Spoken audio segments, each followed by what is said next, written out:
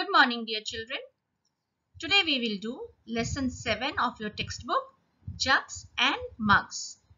By the end of this lesson, you will be able to understand the concept of capacity and compare the capacity of two vessels and solve the problems related to the capacity.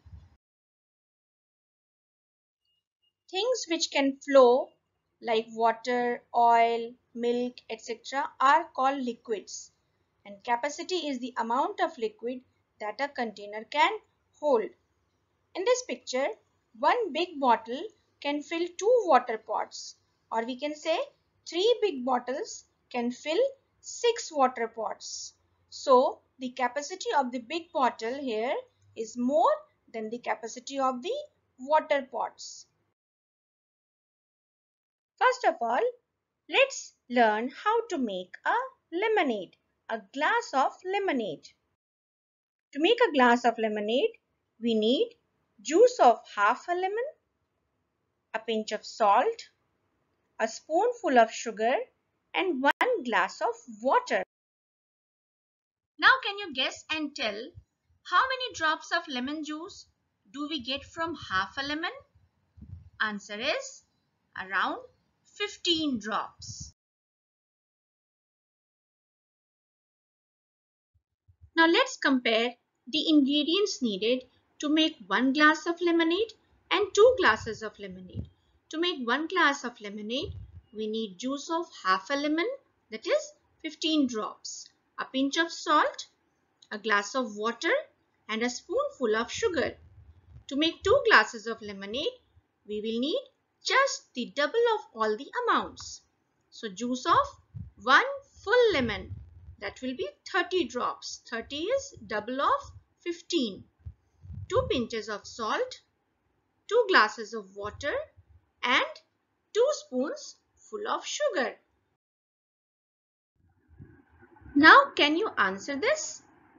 For making 6 glasses of lemonade, how many lemons will you need and how many spoons of sugar will you take? The answer is for making 6 glasses of lemonade, we need juice of 3 lemons because in one glass we needed just half of the lemon for its juice and 6 spoons full of sugar because one glass needed 1 spoonful of sugar so 6 glasses will need 6 spoons full of sugar. Lemon drink. Thanda thanda. Cool cool. There is a fair in Chaitra's village. Chaitra, Nazim and Anish want to put up a stall to sell lemon drink. They make a bucket full of lemon drink and Anish got a jug to pour the lemonade into the glasses. They are selling the small glass for 5 rupees and the big glass for 10 rupees. Which is easier, pouring liquid into glass from a jug or a bucket? To fill the small and the big glass? Yes, it is easy to pour liquid into the glasses with the help of jug, not bucket. Nazim found that two big glasses fill the jug completely. Shabnam wants to buy one jug of the drink. How much does she need to pay? Now one big glass costs rupees 10. So two big glasses that will fill one jug will cost how much?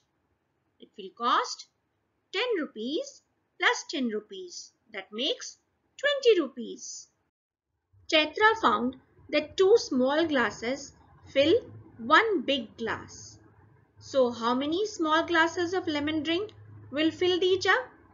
Now we know that one jug gets filled with two big glasses. So we can also say that one jug gets filled with four small glasses because one big glass fills two small glasses. How many small glasses of lemon drink will fill half the jug. Now we know that one full jug will be filled with four small glasses. So half of the jug is just half of the quantity. That is two small glasses. So two small glasses will fill half the jug. Now do page number 50 and 51 given in your math textbook. In our next class, you will learn about standard units of measuring capacity that is milliliters and liters. Happy studies!